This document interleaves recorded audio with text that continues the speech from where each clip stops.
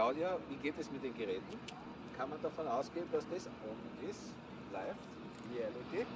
Reality. Nein, ich bin mir da nicht Der Reality, ja, weißt du, da bin ich ähnlich. Der Reality-Check sollte eigentlich Wir haben ja den. Vorteil, wir haben ja quasi bei On the Grid und bei Inside Politics sind einige Erfahrungen gesammelt, Felderfahrungen. Ne? Genau. Und das sollte eigentlich heute ein bisschen ein Anlass sein, ein kleines Resümee zu machen. Nicht? Also keine epischen Ausführungen. Ich erkläre nur kurz, wer ist der Mann, der mit diesem wunderschönen Hahnentritt Sakko, äh, gelernt ist gelernt, ich war mal Herrenausstatter vor vielen Jahren. Äh, das ist August Peter Zurk, ein sehr guter Freund von mir und nicht nur das, sondern er ist der Mann, der hinter diesem Mann steht. Also nein, in dem Fall habe ich keine Frau, die hinter mir steht, aber meine, meiner Mutter sei trotzdem Dank ausgesprochen. Danke für die freundlichen Worte. Kommen wir jetzt aber gleich zur Sache. Du fliegst heute, wir sind ja nicht zufällig am Flughafen, du fliegst heute wohin? Wohin und warum und was erwartest du dir? Ja, also wohin? Ich fahre heute mit einem Freund von der TU Graz nach, oder ich fliege nach Hamburg. Ich habe es ja schon bereits angekündigt.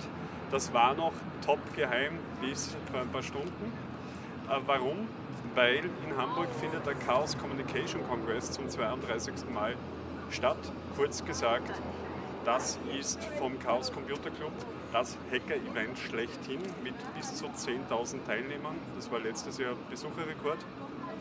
Und der äh, 32C3, wie der Kongress abgekürzt heißt, ist vor allem eine Veranstaltung, in der Gesellschaft, IT, technikversierte und Geeks wie auch andere Freaks aufeinandertreffen und untereinander vernetzungstechnisch sich austauschen können. Das heißt, du glaubst, oder wir auch beide hoffen ja, dass vielleicht ein paar neue Inspirationen äh, von dir mitgebracht werden, weil wir wollen ja nicht unerwähnt lassen, das heutige Jahr war ja spannend.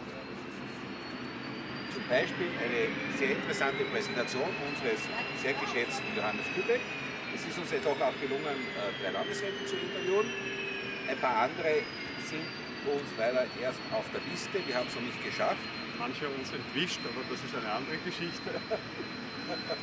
Äh, wir konnten auch schon eine Bewerberin für das höchste Amt im Staat, die Frau Dr. Driss, interviewen.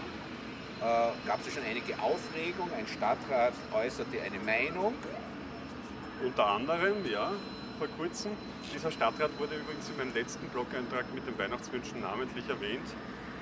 Aber lassen wir das jetzt, weil er hat sich sehr engagiert in der Sache Inside Politics Hilf ausgezeichnet und hier einen Obdachlosen in Grazia Comini für, für die Zeit der Weihnacht und hoffentlich auch danach jetzt mal ein Dach über den Kopf besorgt.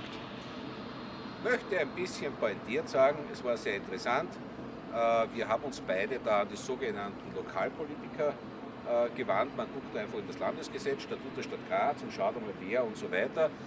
Der eine sagt, naja, und so weiter, ich fühle mich nicht zuständig. Der zweite sagt, ich kümmere mich gern, ich lasse sie, die Obdachlosen, durch die Polizei verscheuchen. Ne? Aber es hat sich dann herausgestellt, es gibt auch Leute mit Moral und Verstand, die einfach sich bemühen, angemessen etwas zu machen. Es gibt nämlich auch hier in Graz viele alte Leute oder ähnlichen. Und da möchte ich persönlich im kommenden Jahr vielleicht einen kleinen Finger drauf legen.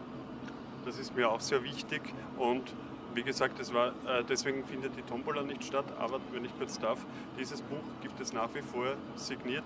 Es kommt demnächst ein Gewinnspiel und der, äh, der Erste, der die, die Frage beantwortet und mir schickt, der bekommt dieses Buch von Kübeck. Jetzt ist mir natürlich die Sonnenbrille verrutscht, aber ist egal.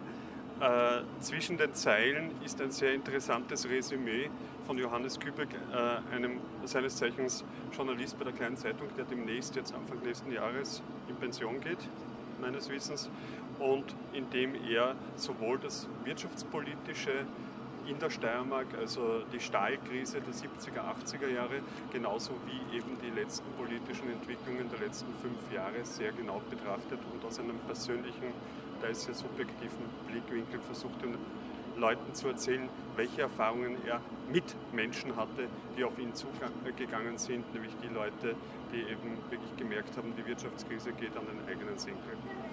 Eine interessante Frage hast du dir vorgenommen für Hamburg, nämlich wie sich eigentlich jetzt insgesamt das Thema äh, Transparenz, Open Government Art oder ähnliches in der Community bereits weiterentwickelt. Es tut sich einiges. Äh, da fehlt es scheinbar noch ein bisschen am Durchzünden, aber die EU hat ja mit dieser BSI-Richtlinie, glaube ich, heißt die, ne? Genau. Einiges gemacht. Bin schon sehr gespannt, was du mitmachst. Ich bin auch gespannt. Ich freue mich. Persönliches Highlight äh, sind diesmal drei Vorträge. Klassiker Nummer 1, F9 Jahresrückblick von Frank Rieger und Felix Leitner. Vulgo Fefe, sehr bekannt, Fefes Blog. Und äh, ebenfalls von Frank Rieger äh, Security Nightmares, als auch, und da bin ich auch sehr gespannt, Maximi, äh, Maximilian Schrems, Europe versus Facebook, dürfte ein, eine interessante Perspektive sein, mal das aus der rechtlichen Sicht zu sehen, was eigentlich die IT auf die Gesellschaft aus, also wie sich die IT auf die Gesellschaft auswirkt und umgekehrt. Nachdem wir im Hintergrund schon gehört haben, dass die Turbinen deines Jets quasi warm laufen, ne, äh, möchte ich die Gelegenheit nutzen, allen unseren Gästen auf Facebook, YouTube und wo auch immer wir uns eigentlich präsent äh, gehalten haben. Äh, zuerst einmal für Ihre Treue und für Ihr Interesse, aber genauso für Ihre teilweise Kritik, freundliche Kritik, auch beißende. Da oder dort war es ja nicht einmal so ganz äh, und so weiter. Die haben Sie alle aufgenommen. Auf jeden Fall, ich möchte mich bedanken und gebe dir noch ein Schlusswort und dem kann ich mich nur anschließen. Ohne euch oder ohne Sie wäre das nicht möglich, was wir tun. Wir haben heuer knapp 50 Filme produziert, wovon noch nicht alle veröffentlicht sind. Aber ja, wir haben genug Material und wie man beim letzten Beitrag zur Kurdenfrage gesehen hat, der äh, Beitrag wurde ursprünglich im Jänner produziert, aber ist gerade sehr aktuell. Man merkt, Politik wiederholt sich auch immer wieder gerne. Und in diesem Sinne, ich freue mich auf ein spannendes 2016. Das 2015er Jahr war sicherlich ein geschichtlich prägendes und alles Gute, habt noch schöne Feiertage und einen guten Rutsch. Prosit. Prosit.